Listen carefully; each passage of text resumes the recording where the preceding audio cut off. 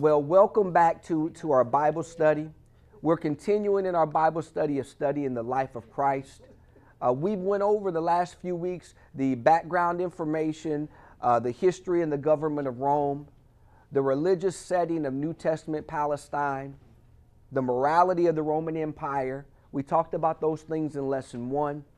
In lesson two, we talked about the pre existence of Christ and the fact that Christ existed before he came here on earth in flesh and blood, right? Yes, we talked about that. We talked about his ancestry and we talked about his divinity, that he's 100% God, but 100% man at the same time, right? So we talked about that.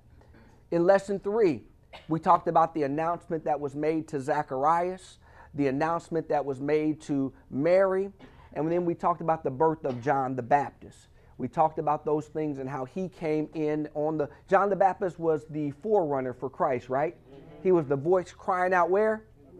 In the wilderness, in the wilderness. Well, from there, we continue with the birth of our Lord and Savior Jesus Christ. We then fast forwarded 12 years after his birth, and he had a visit in where?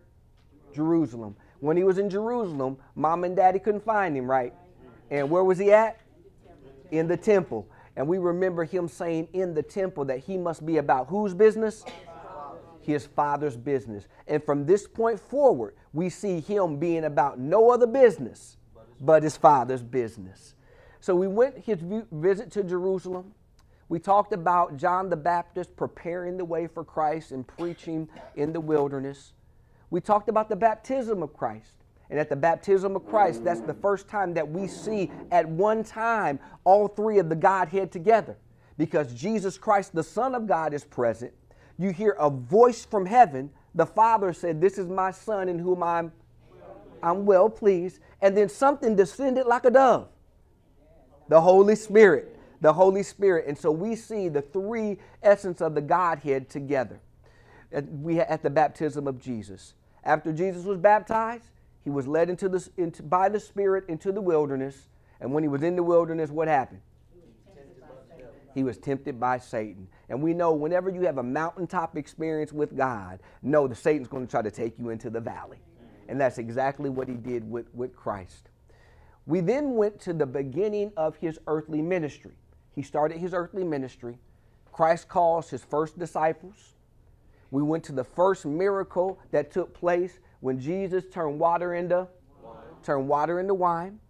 After Jesus turned water into wine, we talked about he went to his father's house, and in his father's house, money changers have corrupted it, and that they were doing illegal activity and illegally taxing people and profiting off of the people. And so he drives out the money changers. He turns over the tables in the in the uh, temple and said, "You turn my house, this house of prayer, into a den of into a den of thieves." He continues with his earthly ministry. He has an interview with Nicodemus. We find out with that interview with Nicodemus that you have to be born again, again in order to inherit the kingdom of God. Not just the physical birth, but the spiritual birth. You have to be born again. Then we walk through the beginning of his Judean ministry. Jesus withdraws from Judea. He talks to the woman at Jacob's well. Then we move to him talking with the woman at Jacob's well, to the healing of the nobleman's son. His ministry moved to Capernaum. Then Jesus calls four disciples. Who were the four disciples? James and John, sons of thunder, and Andrew and, and Peter. Right. Um, Jesus then delivers a man who's possessed with a demon, and then he goes on a healing tour throughout Galilee. After his healing tour throughout Galilee, we find that he calls Matthew, and Matthew is a tax collector. He calls Levi, who's Matthew, a tax collector, and that shows us that Matthew threw a party. And as he threw a party and invited all these other sinners to come in, he wanted them to be saved as well. Amen. And if God is able to save, save a tax collector that was taxing his own people and was doing mean and ruthless things, it shows us God is able to save anybody. And we ought to be going out and inviting others, just like Matthew did. We need to go out and invite others to come and learn more about Christ. Then, after he called Matthew, the Pharisees started questioning Jesus. And there were questions that came about from John the Baptist followers as well about fasting. And they wanted to know why is it that we have to fast, but your disciples are not fasting at this time and moment. And Jesus was letting them know who he was and explaining to them the importance of fasting and saying that even if, if, if you have a, um, a marriage and in that wedding, um, people are fasting.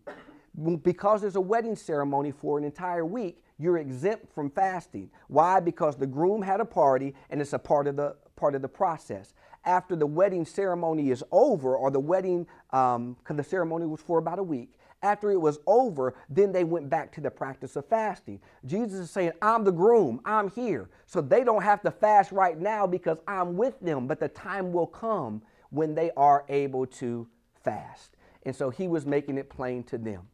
Now we're moving on to lesson eight, and we're continuing the great ministry in Galilee. Now, the first thing we're going to deal with is the first Sabbath day controversy. You know, people love controversies, don't they? And we're going to find that as Jesus was going through his ministry, controversy followed him as well. It's in John chapter 5, verses 1 through 47. John chapter 5, verses 1 through 47. I'm not going to go through all those scriptures so you can follow along with your Bible, but we're going to be in John chapter 5, verses 1 through 47, dealing with the first Sabbath day controversy. Here we come to the end.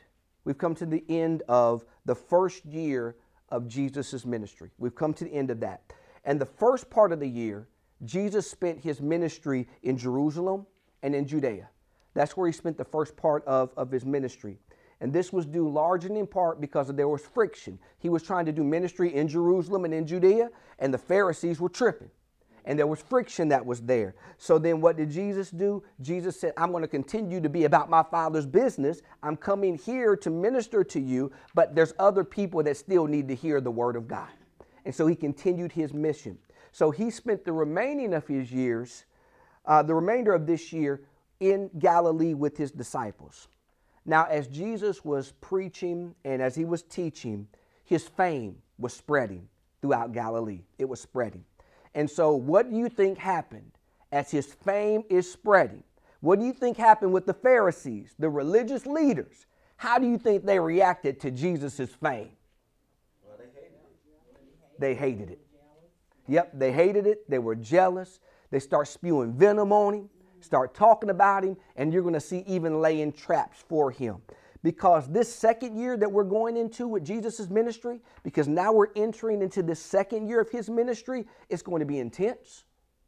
And as it's intense, his ministry is going to continue to grow, his fame is going to continue to grow, and the opposition is going to continue to grow as well. Nearly all of the second year, of Jesus' ministry, because again, that's where we're entering into now. His second year is going to be spent in Galilee, with the exception of one event, and that was the Passover feast that took place in Jerusalem. And it was at this Passover feast in Jerusalem where he healed the man at the pool of Bethesda. And that's what we're going to be looking at um, in John chapter, chapter 5. The gospel writer John John is the only gospel writer to give an account of the healing of this paralyzed man in Jerusalem in, in chapter 5. And it happened at a place called, in, in Hebrew, it was called uh, Bethesda. It was called Bethesda. And this pool, this pool of Bethesda, you see, it was a pool and it had porches. So there were five porches that were surrounding it. Jesus knew that at this pool, he knew that there was a man at the pool who needed help. Jesus knew he needed help. And you know what this tells me? No matter where we are, Jesus sees you.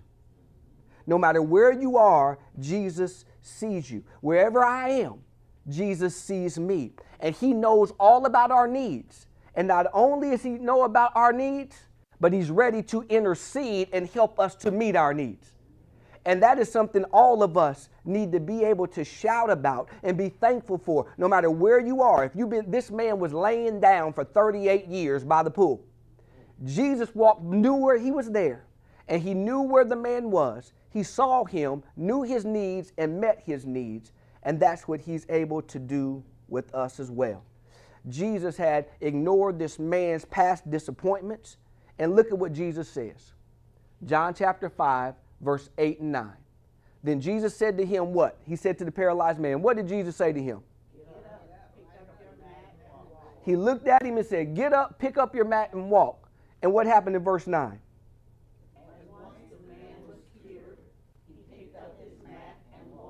At once. At once. He was what? And he picked up his what? You know what this tells me? Um, wherever you lay your bed, that's where your home is. Wherever you make your bed, that's where your home is. This man's bed was made by the pool of Bethesda. He was in a dark, dismal, depressing state, and that's where his bed was. That's where his home was. But guess what? This man now no longer would be sleeping in a place of despair. Why? Because of his encounter with Christ, he's now going to be moving and his situation was going to be changed. And whenever it is that we connect with Christ, no matter how long you've been in that dark, dismal place, this man was there for 38 years. Jesus was able to speak to him and his situation was able to change. And whatever situation you're in, if you will just connect with Christ, He's able to change your situation. Even if you've been laying in this place for all those years, He can change your location just like that. Amen. He's able. He's able. And you know what? This was a miraculous healing. And people ought to be excited and shouting about this man who was down for 38 years now is able to pick up his own mat and walk. walk. But there was a problem that took place. This took place. When this happened, it happened on what day? On the Sabbath day. Now, this wasn't a problem for Jesus, but it was a problem for the religious leaders. It was a problem for them. It was a problem for them. Why? Because they see this man carrying his mat. They see him, they see him picking up the mat and carrying it. And the religious leaders said that was work him picking up his mat and carrying it, it was work because it was on the Sabbath. So what did they do? They rebuked the man. And this is what they did. This is interesting. They took a divine command and not operating on the Sabbath that provided physical rest for humans. This was the, the Sabbath was to provide physical rest for humans from their from their uh, work and it they erroneously turned it into a human restriction on acts of mercy. The Sabbath was created so that we would not have to work and we could be able to, to rest for God's people. They then misinterpreted the law and turned it into a human restriction because having mercy on somebody you can't do that either on the Sabbath, even if it means you heal them so that they can get up and walk. So they approached the man. And as they approached the man, the Pharisees, they gave him a warning.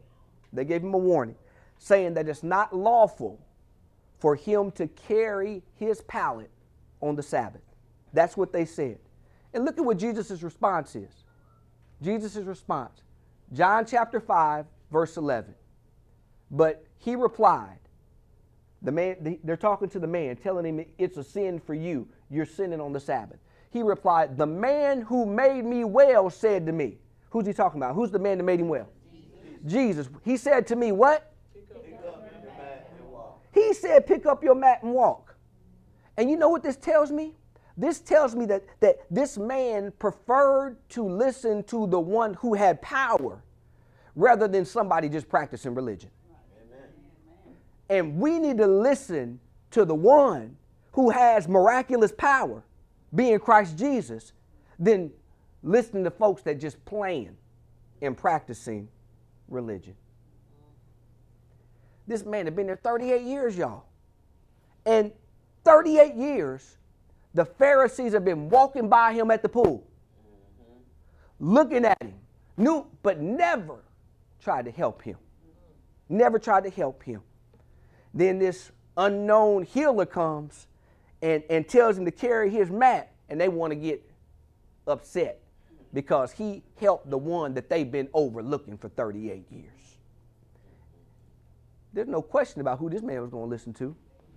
He said, I'm not going to listen to y'all who walked by me for 38 years. I'm going to listen to the one who told me to get up and take my mat. And you know what this tells me? We need to listen to Jesus. We need to listen to Jesus because he's the one who's able to change our lives. We need to have our spiritual eyes and ears open at all times to hear what God is saying to us. Yes, it's good for us to connect with other people of godly wisdom and talk with them and pray with them, but ultimately, we need to hear from who? We need to hear from Him. We need to he- hear from, from Him. Later on in the chapter, the Pharisees are getting mad, y'all, and, and anger's building. And again, this is a journey that we're going through with the life of Christ, his journey to the cross. This is his journey to the cross.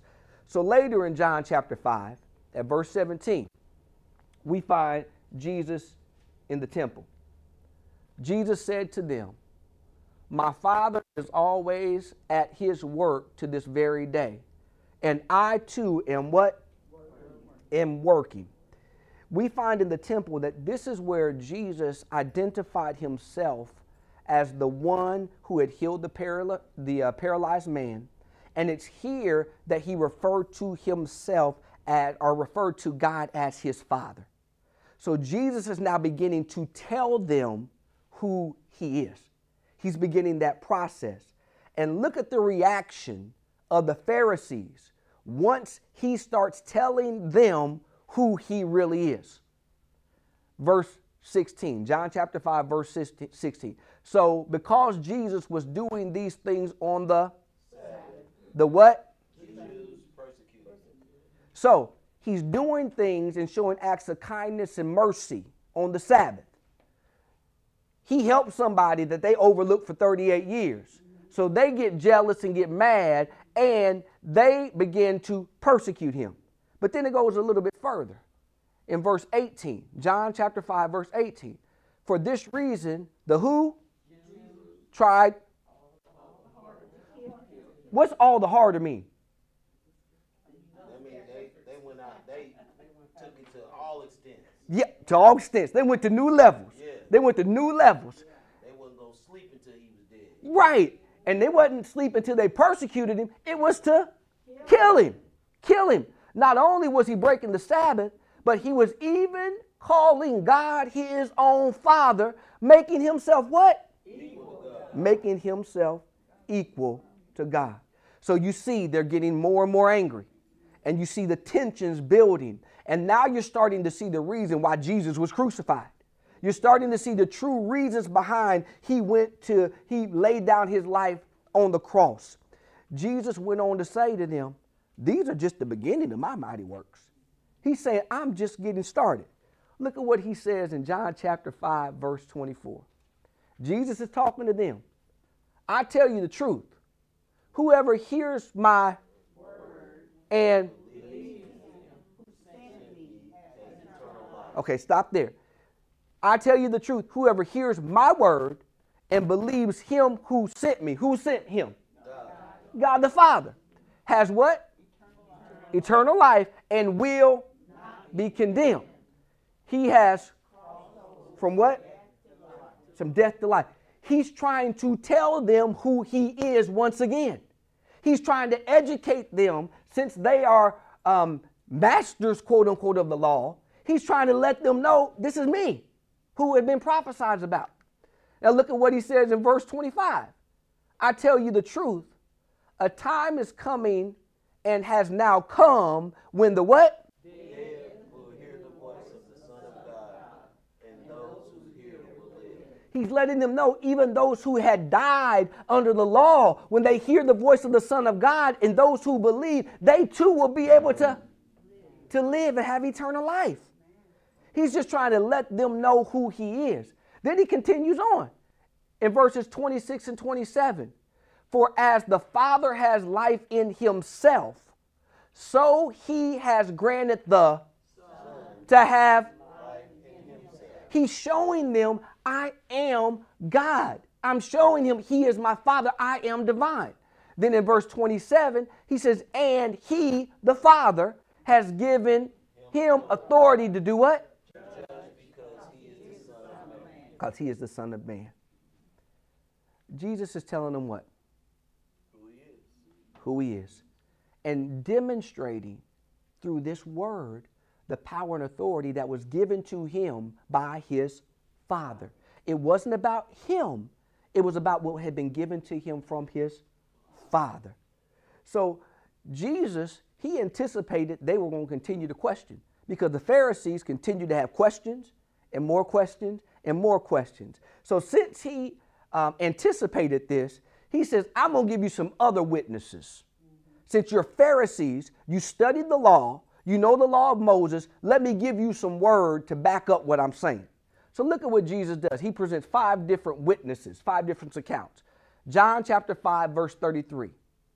You have sent to John, this is John the Baptist, and he has testified to the what? To the truth. Not that I accept human testimony, but I mentioned it that you might be. Job was a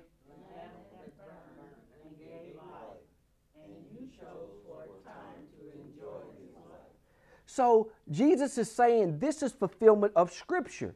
John the Baptist he was the one who came and testified about the truth of Jesus Christ. He was the forerunner.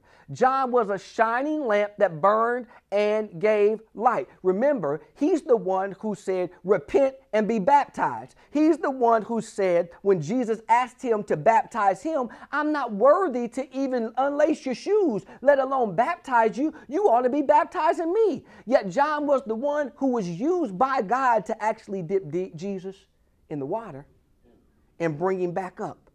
And he's saying, You heard his testimony and believe the light. He said, So don't just believe my testimony, believe what John said. This is another account, another witness. Believe John. Here's the second thing he said. Verse 36 I have testimony weightier than that of John. For the very work that the Father has given me to finish, and which I am doing testifies that the Father has sent what? There's a greater witness, he said, than John that testified to Jesus' identity. And you know what that was? The miraculous things he had done. Look at the miraculous things that he had done. That was evidence. That was evidence that he was sent from the Father. So, in essence, Jesus is telling them, you know what? My deeds validate what I've done and what I'm telling you who I am. So John has told you who I am, and you were believed in him, but he told you who I am, but you're not believing. My works I've showed you is a witness to tell you I've been sent from God. What else do I need to do? So he continues talking. He's like, what else I got? He said, so I'm going to show you some more stuff. He said, and the Father who sent me has himself testified concerning me. You have never heard his voice nor seen his what? The Father testified about Jesus. The religious leaders have rejected him. They, they didn't have God's word residing in them because they didn't believe his son. They did not believe. They did not believe his son. So Jesus says, I got to take it even a step further for you. Because I'm trying to tell you and educate you about who I am because I want I don't want anyone to perish. I'm trying to tell you who I am. Verse 39. You diligently, Pharisees, study the scriptures because you think that by them you possess eternal life. These are the scriptures that testify about who? They thought they had eternal life because they studied the scriptures. They thought they had eternal life because they studied the scriptures. Yet those very scriptures pointed directly to Christ. They pointed directly to Christ, but they refused to go to him to have life. But they studied the scripture.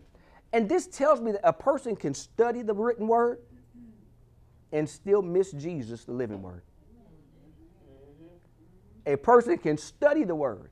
That's why there are people who are theologians because they can study, but they may not be true believers because they may not believe what it is they're studying.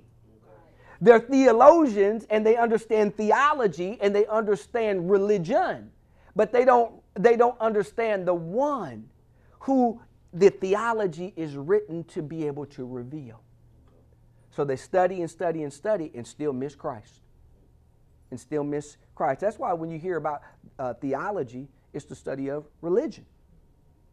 It's not about us and what we believe, it's religion. You can study all different types of religion, and they call it theology. So we think about being believers in Christ. We want to make sure as we study the written word, we don't miss the living word. We don't miss the living word because knowing God's written word is absolutely essential. To know the word of God is essential. The word is a lamp unto our feet and a light into our pathway. We ought to study and meditate on the word of God day and night. But if your knowledge doesn't lead you, lead you to the, the living word, then we've completely missed the point. Yes.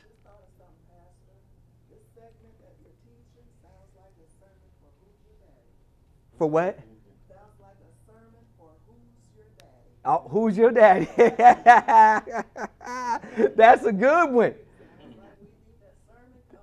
Oh, who's your daddy? You don't put the pressure on now.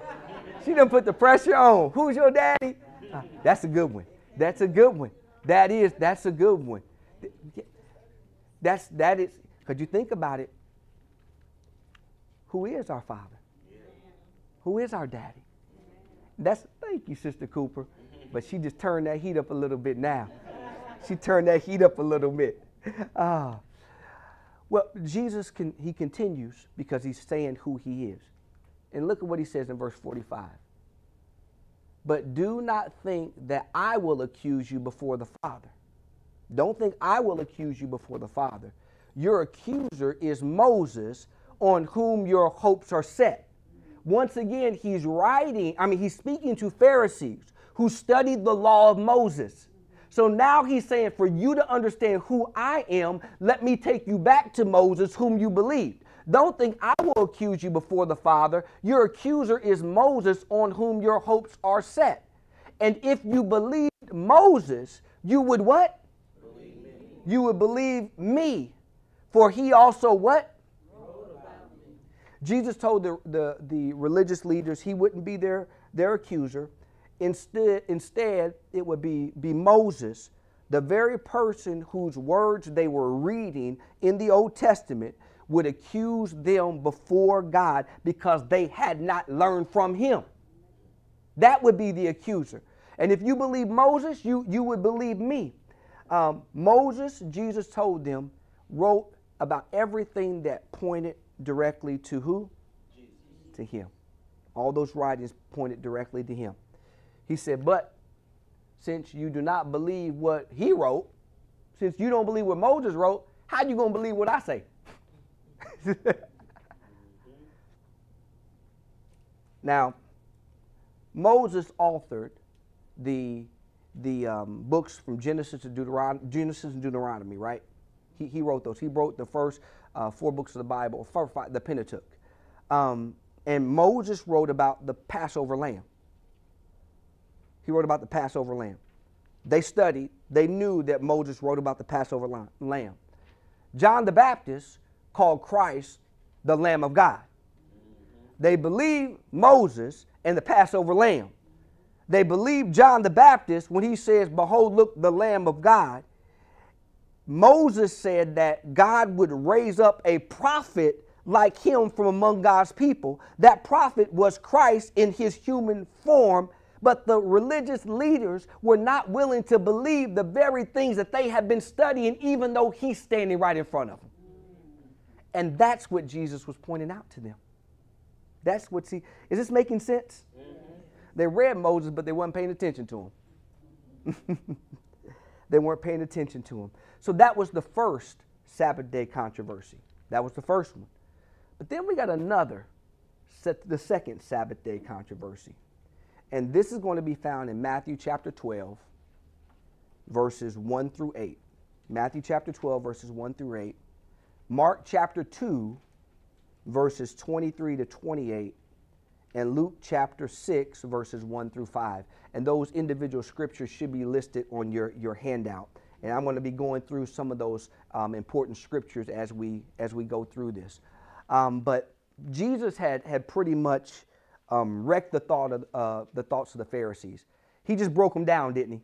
From what we just talked about, he broke them down and gave them um, an education about him being 100% divine and 100% man. He talked about his authority and his deity. So he pretty much answered their questions and wrecked their thoughts about what that could mean and, and whether or not he was, he was God. So the Pharisees stopped questioning because they knew they couldn't hang with him. They couldn't question. So now they do something else.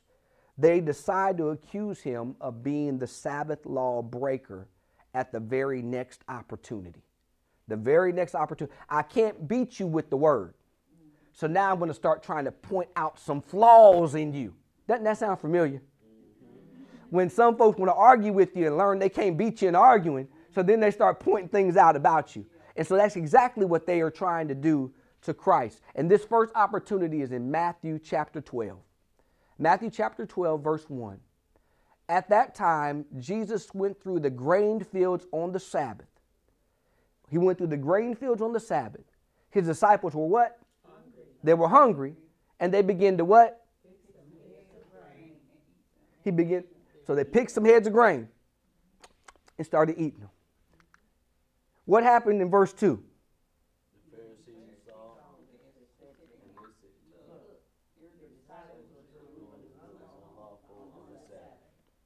Just happened there? Now, the Pharisees, they, they're known for their knowledge of the Word of God and their love for rules. They, they are, they're known for that and, and for their rules. And when they saw Jesus' disciples picking grain and eating them on the Sabbath, they said, You are breaking the law. Yes. Is that like, like the guy picking up the mat? You're saying it was. Un- yep. say that they're doing work too? Yeah. Well, this is more than just doing work. it, it is for what they're saying. Because um, you couldn't, that's a good question, you could not work on the Sabbath. But the Pharisees created all these other crazy rules and crazy regulations um, and so many different scenarios on how the Sabbath could be handled. They started confusing folks. But they considered the disciples' actions equivalent to working on the grain fields. So they, they thought this was the same. And this is. So they're following him around now? I mean, this is not in the temple or near the temple, right? well, I mean, they have been plotting against Jesus. So now they got spy, uh, uh, spies everywhere.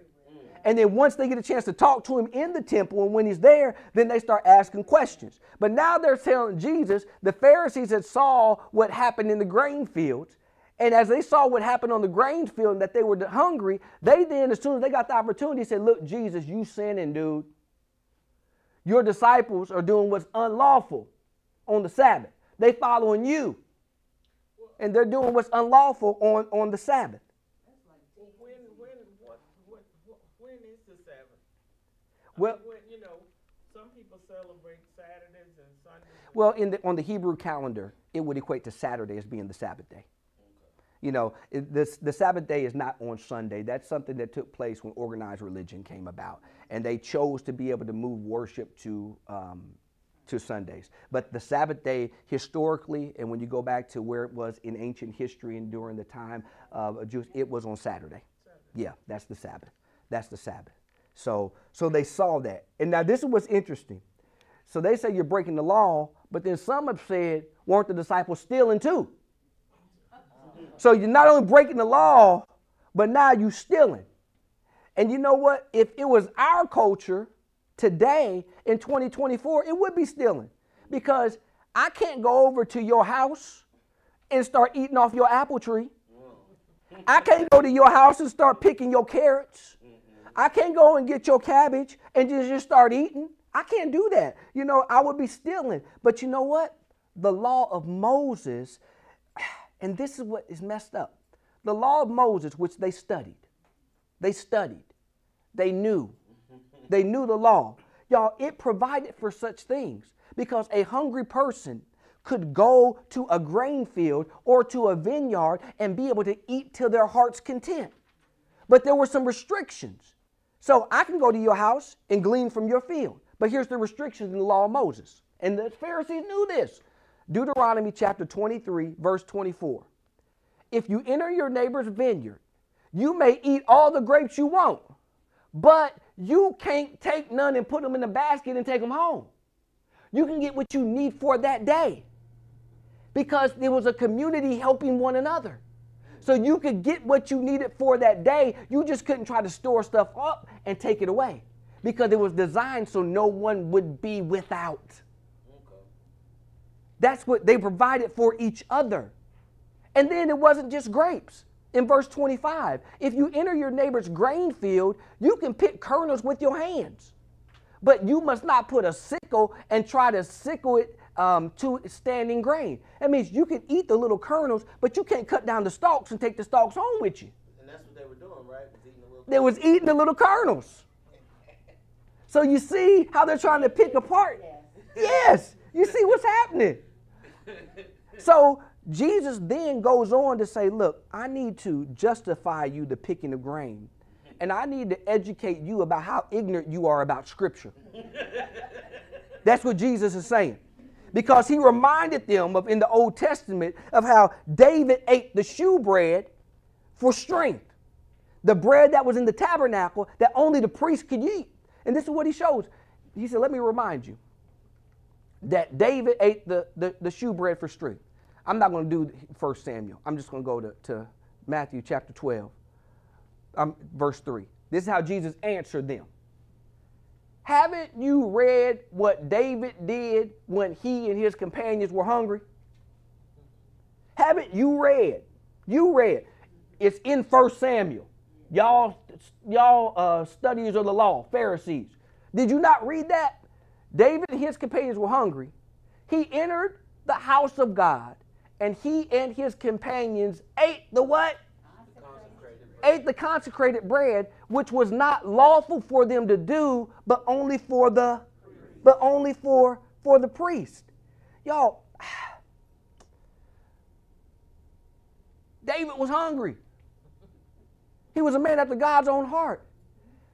The, the laws are set to provide instruction for us to keep, but it should never take you away from the mercy that should be exhibited on mankind. And this, okay, then I got to, I'm getting ahead of myself because I'm getting excited, y'all. Verse 5. Or haven't you read in the law on the Sabbath, the priest in the temple desecrate what? Jesus reminded them of this. The priests, they violate the Sabbath all the time. How? They working on the Sabbath day. It- are they working on the Sabbath day? Yet they are innocent. And and and he reminded them that they have God's work to do. But the Pharisees were legalists.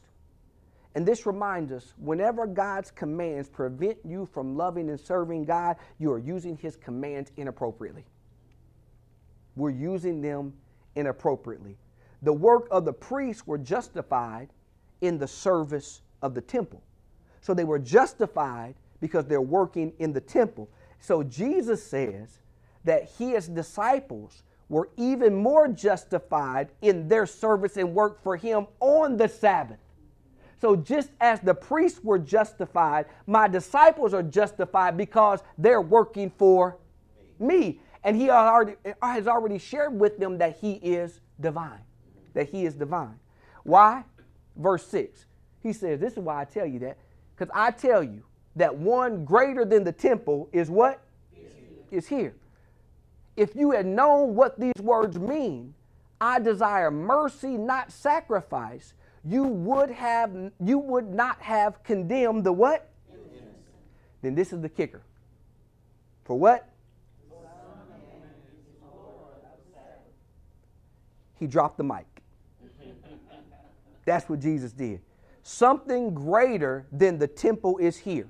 The only thing greater than the temple, than God's house is God. The only thing greater. And therefore, Jesus was letting them know that I am here. I am God and I'm here. And I am the Son of Man. I am the Lord of the Sabbath. And since this is my show, I decide how the Sabbath ought to be observed. Because I'm the Lord of the Sabbath. So he was putting them in their place, but he did it by using scripture because they were Pharisees who knew the law, and he was using the writings of Moses to validate his point. You see why it's important to always back up with scripture? Lord Yes. in charge. That's what, What's that? that Lord, he's large He's large and in charge. I got two sermons now. Who's your daddy? And large and in charge. Boy, we're going to have fun. Yes. Drop the mic and drop the mic. We got three new sermons. Hey, we ready to go into May now. so this is the second controversy on the Sabbath day. But y'all, they just didn't stop. They kept going. There's a third one. There's a third one. The third Sabbath day controversy. This continues in Matthew chapter 12, verses 9 through 14. But it's also in Mark chapter 3, verses 1 through 6, and Luke chapter 6, verse 6 through, through 11. Now, on, a, on another Sabbath day, and it's perhaps just the Sabbath following the grain incident, um, Jesus was now in a synagogue in, in a town outside of Galilee. And while Jesus is there, he noticed a man with a withered hand. He's in the temple, and he notices a man with, with a withered hand. The, the scribes and the Pharisees are all sitting there in the temple and see this man with the withered hand. And they're waiting and watching, as you asked, Sister Bernie, um, they're spying on Jesus to see what's he going to do this Sabbath day. You see, he healed on the Sabbath and told the man to pick up his mat and walk. Then he, he had his disciples eating grain on the Sabbath. What's he going to do on this Sabbath day? Because, you know, the other two Sabbath day, he put us in our place with the word. So, she put us in our place. And it's possible they may have even planted this man there because they were plotting and scheming against Christ because they wanted to, to, to trap them. However, um, in the midst of this serious situation, Jesus thought not of himself or anything negative that could come against him. He wasn't thinking of that. Instead, Luke chapter 6, verse 8. Luke chapter 6, verse 8. But Jesus knew what they were thinking. he knew what the Pharisees and the scribes were thinking. And he said to the man with the shriveled hand, Get up and stand up in front of everybody. And so, what did the man do? Now, knowing the thoughts of the Pharisees, knowing the thoughts of the Pharisees, look at what Jesus did. Jesus said to them, I asked you, before y'all even start asking me why I did this on the Sabbath, let me answer you and help you out. I ask you, which is lawful on the Sabbath? To do good or to do evil? To save life or to what? Destroy. Destroy. What did Jesus just do? He challenged them. He challenged them, asking them, is it good to do good on the Sabbath or to do evil? And this is what his point was. If somebody chose not to do good by allowing someone else to suffer right in front of them, that was evil. That was evil. So he pointed that out to them. He healed the man. And guess what the Pharisees did? They got madder and madder and madder. They got hot. They got hot. They got, now, they should have been rejoicing because, once again, somebody who could not use their hand. Most people were right handed. So that means he couldn't write. That means he had trouble trying to eat. That means he had trouble trying to get a job and work and provide for his family. There's so many things he could not do, yet they were going to allow him to stay in that situation. And Jesus said, No, it's more important for me to make sure that I'm doing good and not evil. So they got upset. They were filled with rage and they started plotting against him even more. Look at what happened in, in the account what Mark writes about this same account. They got mad and upset. Mark chapter 3, verse 6. In Mark chapter 3, verse 6, then the Pharisees, after he healed the man with the withered hand, went out and began to plot with the Herodians how they might what? Immediately they went out. Now, this is what is interesting.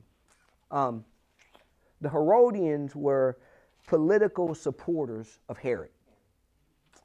Now, they did not like Roman domination of their land. Yet religious, the religious folks and the politics got together to try and take out the king. And this shows that even though you may have a, even though you may be loyal to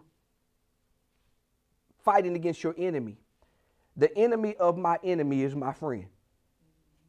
So you have those who were Herodians and the Jewish leaders coming together to come against Jesus. Even though the Jewish leaders didn't like the fact that the Romans had persecuted them or had dominance over them, they were so upset with Jesus, who was their own, that they came against the enemy of their enemy because that became their friend. So that they could be able to try to kill Jesus. Y'all, whenever you are not following Christ, you will do some crazy things. If they would have understood the word and followed the word and what he was saying through his word, they would have had love and compassion and got the fact that he was there with them to bring them eternal life. Yet, because they were so wrapped up in other stuff, um, my mentor, Dr. Troy Ladd, used to say this all the time Christ is the only thing that keeps me from going crazy. And if you start fighting, if you combine with your enemy to fight somebody else, that's crazy. But guess what? That's what will happen when we're not following Christ. That's what will happen. And this continued to grow and grow and grow and grow until it finally brings Jesus to the cross. And he's plagued by this, this whole scheme uh, to the end of his earthly ministry.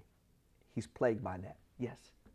Just looking at that scripture, uh, the Pharisees were breaking the law because the law said, "Thou shalt not kill." they were plotting to kill You, but in their mind, their mind, he was doing wrong. but in their mind, they weren't going to kill him. they want the Herodians to do it, the Romans to kill him. right. They were like, well, I'm not, you know, I'm not going, I'm not doing it. I'm just, they were, they were plotting. yeah, they were, but guess what? I can plot against you, but I didn't carry out the sin. We went into the store together and we both went to steal the same stuff, but I let you steal it and I didn't. Then once we get outside, I still share in the spoils, but I didn't steal nothing. yes. But didn't they also have they had David's words, right? Mm. From Ye- the, and and with David, David plotted against and had that man killed on the front lines. Yeah, because of his sin. Right. And that's why he could not build the temple. been- so That's wouldn't that been the same as them? That's that's because David didn't kill him. He had him sent to be killed. So they were doing virtually the same thing. They didn't kill Jesus. Right. They were having Jesus sent to be killed. yep. So yeah. So uh, why wouldn't they have re- realized that they were doing the sin? Because sin is sin for everybody else but me. That's why. there it is. Okay. Sin is sin for everybody else but me. I got you. You know, because I'm a Pharisee. I got you. I know the law Mm. and I'm protecting it. And that's why you, I can't even get in all this. When you hear all these holy wars and these fighting, everybody killing in the name of, or in the name of Allah, or in it. Okay, I got to stop because you know I might get edited, and next thing you know, we can't get on YouTube no more. and they shut us down. Uh, this is the last point. Last point we have. Um, Jesus then moves and he teaches and heals by the Sea of, of Galilee. After the third uh, Sabbath day controversy, he withdraws. So it goes to the to the Sea of Galilee, and the Bible says that uh, he went from Jerusalem, um, Idumea, Tyre, Sidon, and Galilee. Galilee. So these are all places here that Jesus withdrew, and he had people that were following him. Now, why is this important that he had people from all these other regions following him?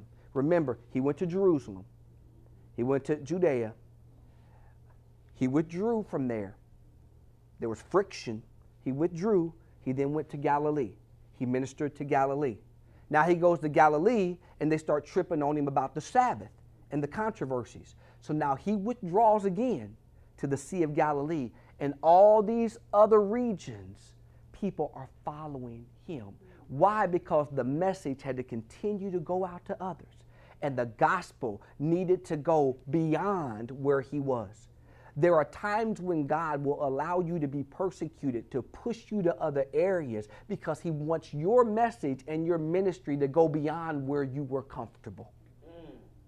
To go beyond where you were comfortable.